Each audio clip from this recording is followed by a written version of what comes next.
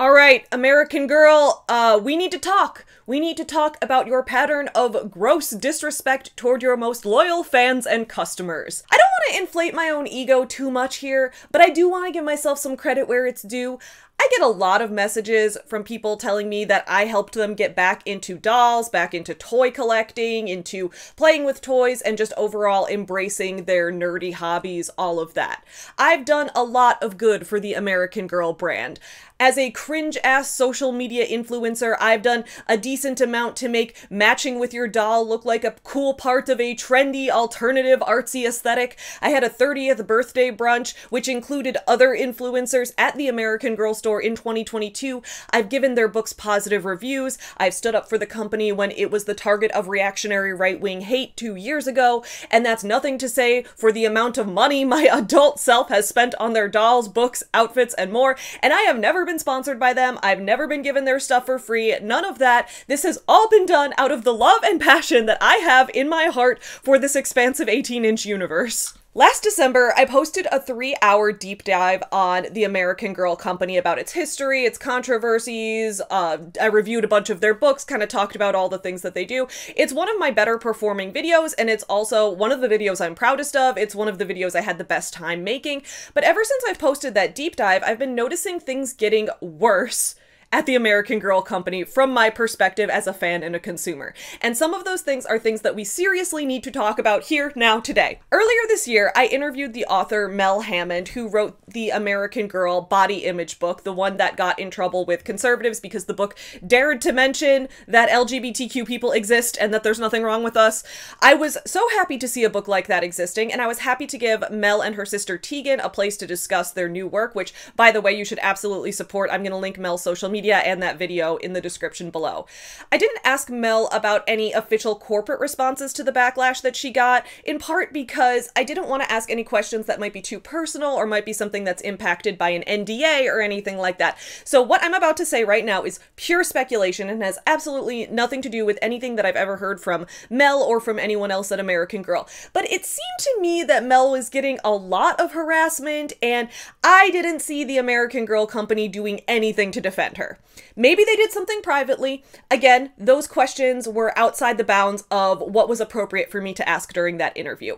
But if you saw the interview, then you saw the levels of hate that Mel was getting from anti LGBTQ people, all in this hate campaign spearheaded by Matt Walsh's wife, Alyssa.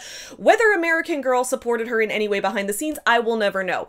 But while their book was facing public backlash, and while Mel was being dragged through the mud and falsely branded as a danger to kids and some kind of like satanic influence and all of this crazy shit, American Girl did nothing publicly to defend her. And now, two years later, I can't find the book on their website anymore. The last couple times I went to the store, I looked through all of their book sections. I didn't see this book on the shelves. Did they pull it? What happened? So this was my first red flag, but a red flag is just a warning. I, I didn't form my final opinion on the company and their direction just yet. And honestly, looking back, maybe that was a mistake. I tend to give everyone the benefit of the doubt for far too long, and that could be because I interpret things very literally, but maybe in retrospect, I should have seen the lack of response on American Girl's part and their subsequent lack of promotion promotion of this book for what it was cowardice in the name of profit. So this pattern then continued, the pattern of selling out their original mission and their educational value in favor of making quick money, even if it alienates their core long-standing fans who have been here supporting them for decades.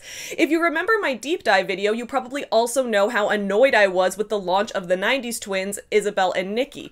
American Girl released two dolls for the Y2K era, setting their story in 1999, but did not touch on a single social issue of that era. They put out two dolls to cover the turn of the century, yet they did not address Columbine and they did not address 9 11, which are arguably two of the most defining events for millennials who are growing up in America, which is the exact demographic that Nikki and Isabel were created to represent. Instead, all their book did was shout out their favorite 90s brands and 90s bands. And the fact that those dolls were not here to just represent the pop culture of the 90s as a decade, but were instead meant to represent the end of the 90s and the start of the 2000s 2000s means that that was their attempt at covering the Y2K era. Those are the dolls we have for that era. And it didn't address the big event that led to 25 years of normalized school gun violence, or the other big event that sent the US into war for two full decades, events that both kids today and current millennials who those dolls were created to represent are still experiencing the fallout from and has impacted the ways we live our lives. It's a glaring issue to me. I'm still mad about it, but once again, I was willing to give them the benefit of the doubt. Then, a few months ago, American Girl started this store wide and site wide rebrand, which I loved. I loved this rebrand. I think that the color schemes they went with, the font choices, everything about it reflected the classic American Girl, the pleasant company era style that we all connected with so much in the 80s and the 90s and the 2000s. To make things better, they then re released the birthday outfits for Kirsten, Josefina, and Addie, along with re releases of the original editions of their books. And I thought, okay, Maybe they were going for a rough spot, but in the end, I'm worried for nothing. This company is on the right track. They're back to educating kids about history, about supporting equality. Everything is going to be okay, right? The company, maybe they were going through some weird transitional periods, but they're back on track, right? But the stuff I saw happen during this past week has solidified for me that American Girl has been taking their customers and their community for granted, even going so far as to attack and hurt small business owners, the lifeblood of their fandom, for the sake of their own profit. At least, in my personal opinion, that's what's happening, okay? This entire video is all in my personal opinion. This is my personal reaction to what's happening. If you disagree, that is totally fine. Just this past Thursday, American Girl officially announced their 2025 Girl of the Year, a doll named Summer McKinnon. Her name is Summer I like to call her Midsummer because she's mid.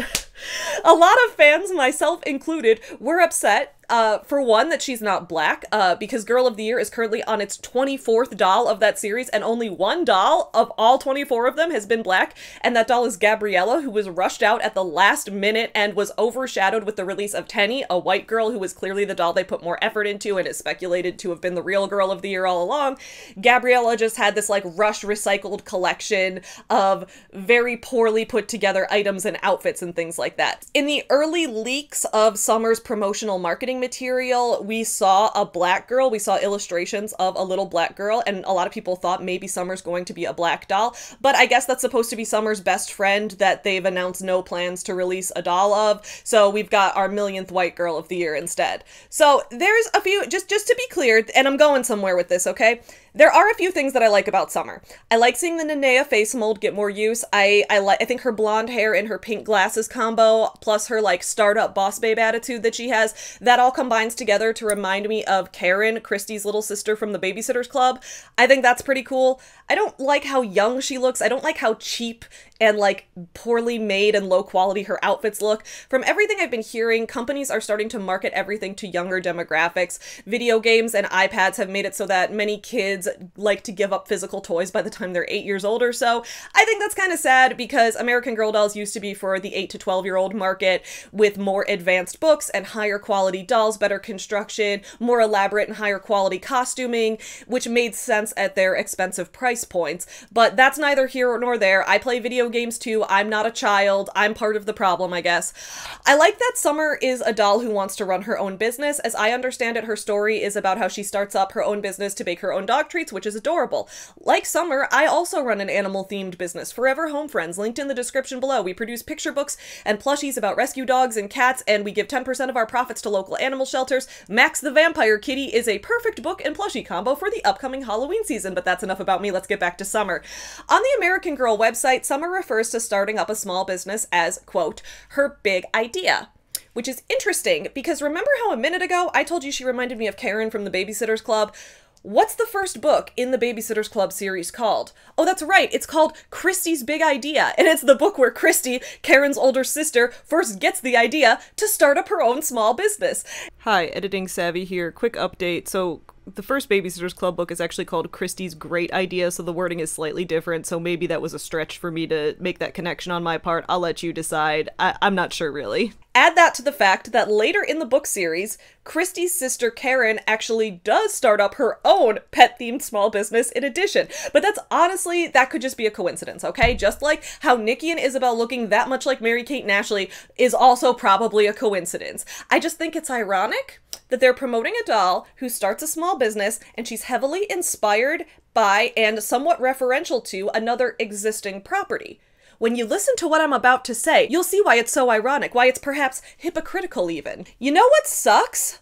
That American Girl created a little girl boss doll, talked about the importance of starting up a small business, tried to educate girls about how they can become entrepreneurs, but did it all for show. It's not genuine. American Girl, as a subset of the Mattel company, does not support small businesses. In fact, it has been targeting them and antagonizing them by copyright striking doll clothing and pattern makers on Etsy. This is part of a long running pattern of behavior from Mattel and American Girl of just nasty antagonistic behavior toward their adult fan base, and at this point, we need to talk about about it, okay? This behavior is cruel, it's unacceptable, and then just days after attacking small businesses on Etsy, they turned around and announced their new girl of the year, who's going to be a small business owner. I hope Summer gets her little dog treat baking business copyright struck by PetSmart just so you guys know how it feels. All right, let's break down everything that happened. Uh, before I get too much deeper into this video, I do want to give a quick thank you to my Patreon supporters. Thank you guys so much for supporting this channel. On my Patreon, you can find bonus videos, blog posts, behind the scenes things, all kinds of bonus content, so check that out if you're interested in supporting the channel and getting access to that kind of stuff. I'm currently in the process right now of working on this huge deep dive about the NaNoWriMo organization, all the controversies going on there, the downfall that's currently happening, and I'm putting that out at the end of the month. But I decided to put together an additional video for right now. I put this together quickly because I'm so angry about what I saw happening. But since doing this video and the NaNoWriMo video are both involving interviews, I've been feeling like a cute little journalist. So I had Kit hang out with me while I worked on these. Kit is also wearing a dress that I got from an independent crafter on Etsy, and I think she looks absolutely adorable. So if you've been watching my channel for a while, then you probably know how much I love and care about small businesses. I started up this channel in the first place to talk about my experience as an independent author and small business owner working with my company Furever Home Friends. A couple years ago, I released a book called Savvy Business Owner where I talked about my process of starting up a small business with my advice for other entrepreneurs. And then last summer, I published a book called Conversations with My Puppet, which was all about how I like to play with toys as an adult and how that helps my creative process and that kind of thing. I actually shouted out American Girl in that book multiple times and included a few photos of their dolls in there. I sure hope they don't sue me for loving them so much. So that's just all to say that small business owners, especially independent writers, crafters, and artists, are extremely important to me and crucial to what I do. I just recently dressed all of my dolls in their fall outfits, and most of those outfits I got from Etsy shops and from craft fairs, often hand sewn by talented seamstresses and crafters. Many of these Etsy shops have helped keep the adult American Girl fandom alive. And let's be clear, Adults who love toys are a demographic who is ready to drop serious cash at any moment.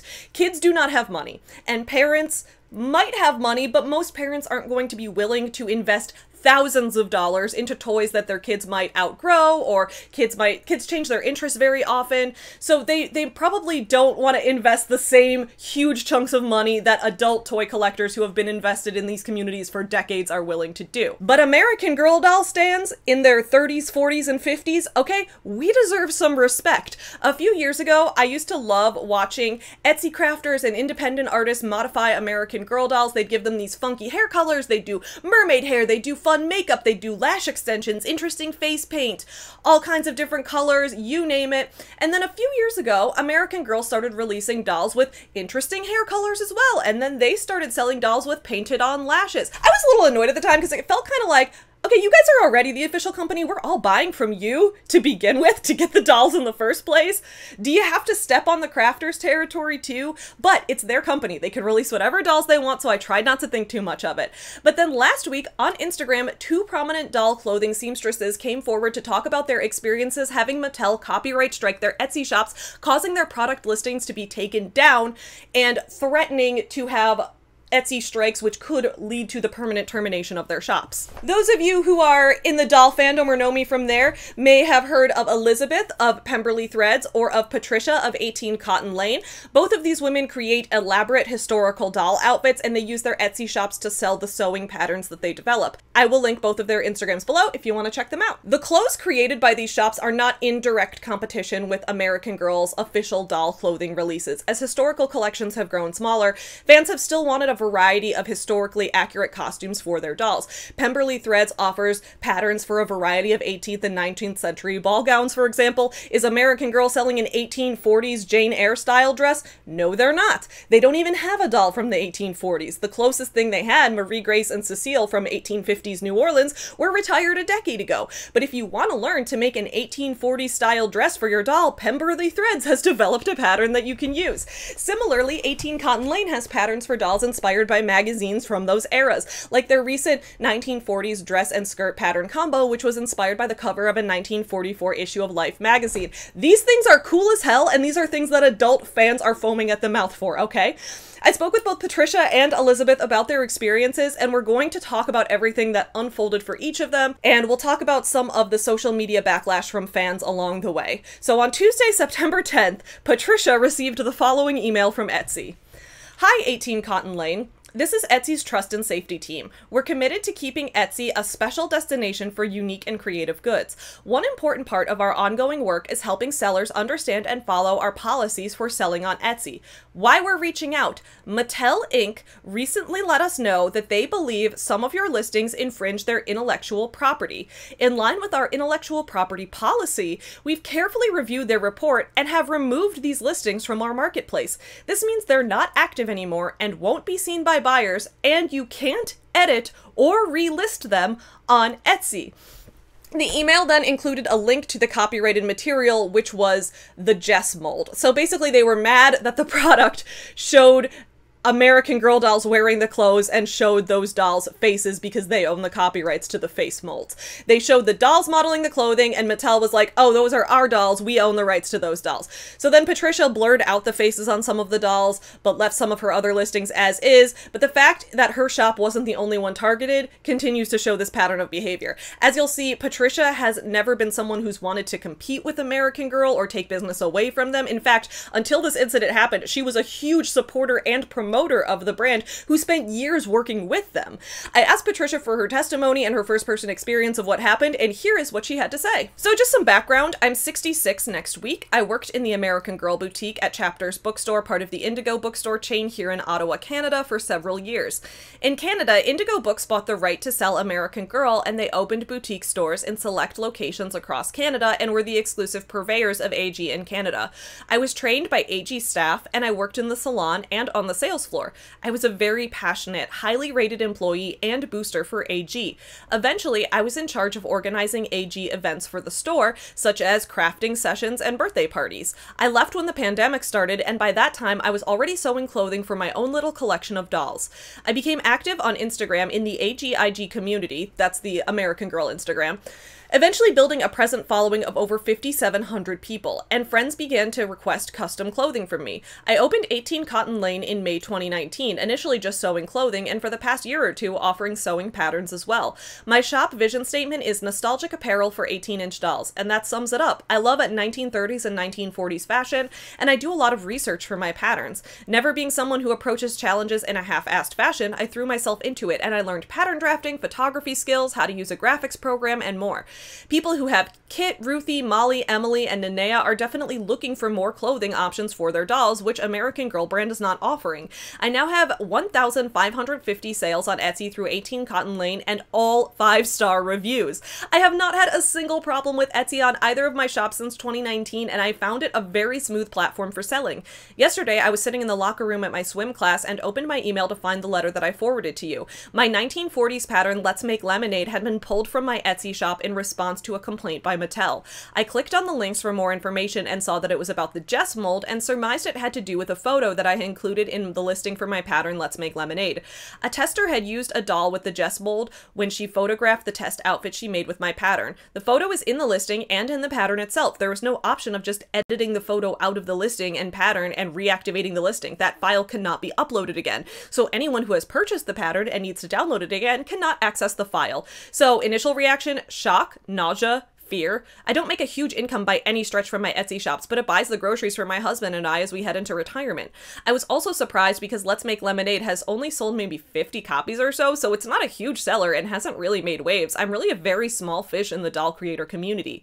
Then I got mad. I posted on Instagram and immediately found out that my friend Elizabeth at Pemberley Threads had two patterns removed yesterday for the same reason.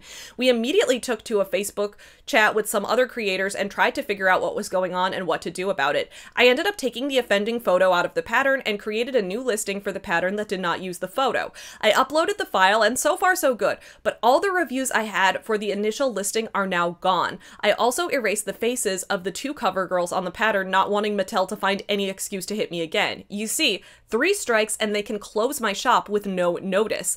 On September 12th, two days after this happened, Patricia posted an update on her Instagram announcing that she was going to move her shop away from Etsy and toward a different site for sewing patterns called PixieFaire. I will put the Instagram captions and pictures up on the screen. And then right before I was about to film this video, Patricia sent me a screenshot of the DM exchange she had with the official American Girl brand Instagram. It reads as follows.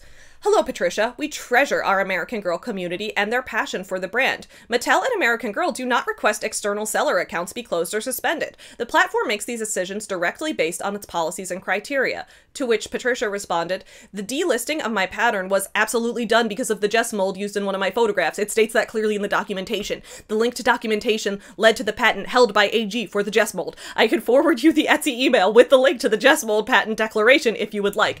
At, at the very least, something behind the scenes is disorganized here, okay? Because the Etsy email that I showed you guys, the email and the link to the registered copyright shows clearly that Etsy took down the listing due to a DMCA from Mattel. Mattel, the company who owns American Girl. Etsy itself did not take these listings down out of nowhere. They did it because Mattel issued a DMCA to them. The other seamstress who spoke out about this was Elizabeth, owner of the shop Pemberley Threads. Here is what she had to say about the experience.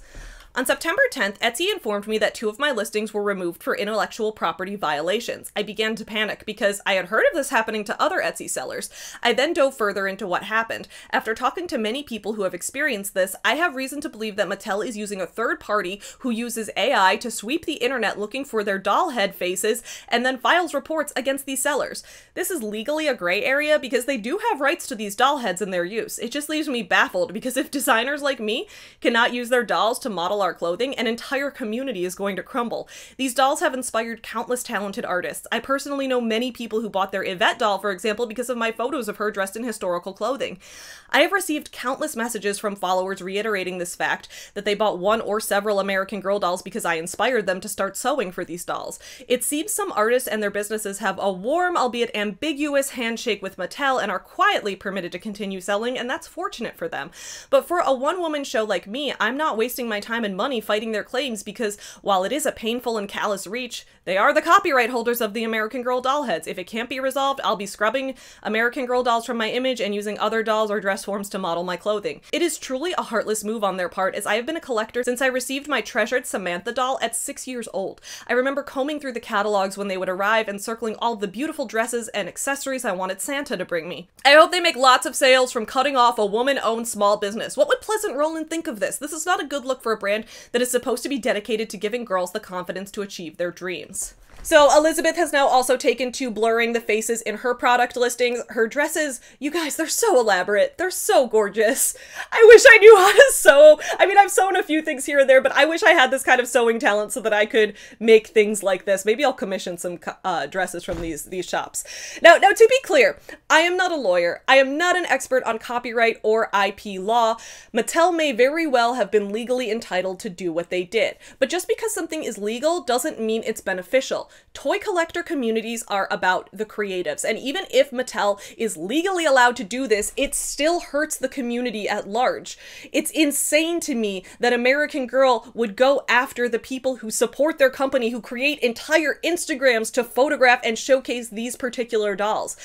American Girl Instagram and Reddit were also not happy with these developments, to say the least. On September 10th, a post to the subreddit called What's the IGT saw a variety of fan reactions. Such ad 3888 said, AG tries so hard to separate themselves from adult collectors until it's time to sell those $300 dolls. To which Aware C 8593 replied, If that ain't the fucking truth. And Cyclops Pirate 64 said, Thank you for saying the quiet part out loud. And this is a really good point, okay? As I mentioned in my deep dive video at the end of last year, American Girl as a brand seems very confused as to who their target audience is. When they're selling their yearly collector special edition dolls for $300, which are more than twice the price of their regular dolls, they know that they're targeting their adult audience there, right? Like, I, I, I don't know all the parents in the world, but from the parents I do know, I think very few parents would be buying a $300 special edition collector's doll for a child. That's for the adult collectors. So they know they're targeting the adult audience there. When they're adding mimosas for brunch to the American Girl store menu, like I had at my 30th birthday, they know they're targeting adults there. But then when they do shit like this, they alienate the entire adult audience all at once. It's just absolutely ridiculous. User Marvelous Time had a similar experience. They said they filed a takedown on one of my items, specifically citing that the violation was the use of a Jess doll head. But I didn't use Jess in my listing. I checked out Patricia Sears' Instagram post about it, and they cited the same violations to her and also to Pemberley Threads, which seems fishy, but I also know I don't have a legal leg to stand on here. To which Crafty Magic Dolls replied, Unless you are advertising a product that's giving a false assumption. Unless you are advertising a product that's giving the false assumption that you are affiliated with the brand, I don't see how any of this makes sense. Like if you were selling a mirror and you're wearing a Philadelphia Eagles t-shirt and you're standing in front of the mirror when you take the photo, the Philadelphia Eagles doesn't get to file a copyright claim because you're not selling a Philadelphia Eagles mirror. Similarly, if you stated in your listing for doll clothing that the item fits 18 inch dolls such as American Girl, Journey Girls, etc., that's literally a descriptor. Nothing about that is screaming, I'm trying to trick people into making them think this is an honest to God American Girl branded item or that I'm in some way affiliated with American Girl. I know a lot of these DMCA takedowns and copyright things are handled by bots, but it definitely is a load of garbage that if you're using a doll as a model, unless you're selling dolls or claiming that the clothing is related to the brand somehow, like that's just bonkers. This would be like selling a car part and saying it fits a Ford Bronco. How the fuck are you going to sell an air filter for an 87 Ford Bronco without saying that it fits an 87 Ford Bronco? Unfortunately, though, we're talking civil law, so until somebody is actually willing to put up the box and hire a lawyer and take this thing to court to make brands quit doing this and overstepping bounds like this, the best you can hope for is that you fight the complaint or take it down and that you ultimately win. But my favorite Reddit comment of all of this came from Just a Had, who said, I'm definitely stunned considering Mattel is all about career Barbie and this isn't very career Barbie of them. On September 11th, a date that Nikki and Isabel do not recognize as historically significant, American Girl's Instagram posted a video of Lila, the 2024 Girl of the Year, getting ready to welcome the new girl summer.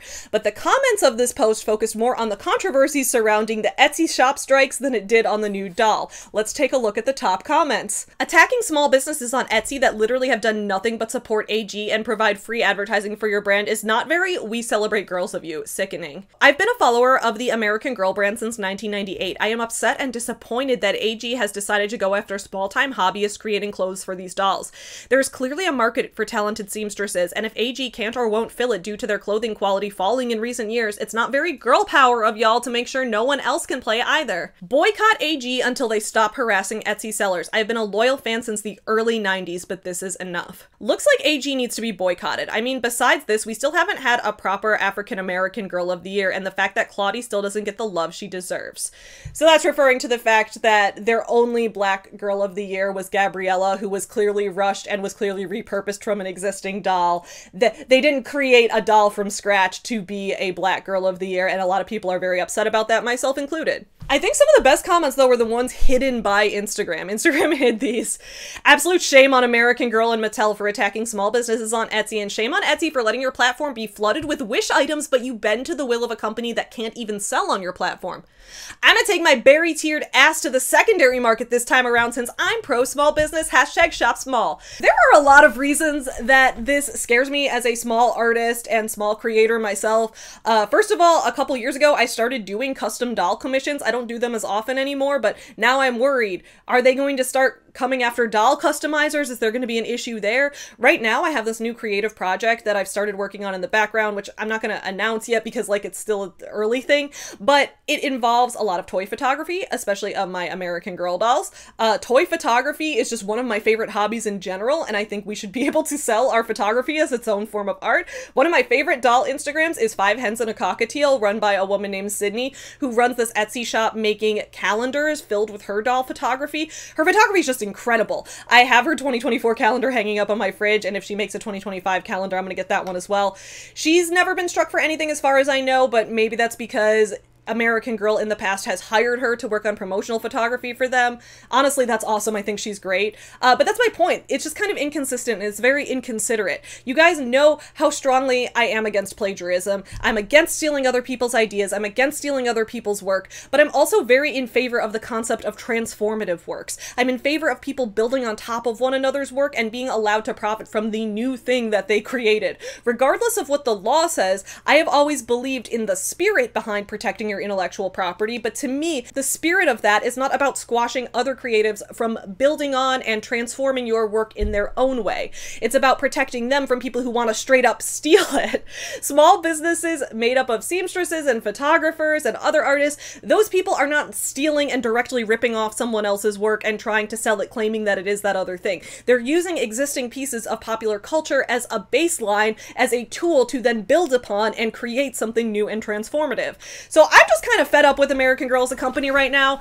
Uh, I'm still gonna play with my dolls. I'm still gonna photograph them. Maybe I'll one day even sell a book filled with doll photography. And if they come after me, they come after me. I feel like honest creatives out in this world would have my back on that. But right now, I'm not too inspired to buy from them directly. I'm much more likely to support smaller crafters and the secondhand market.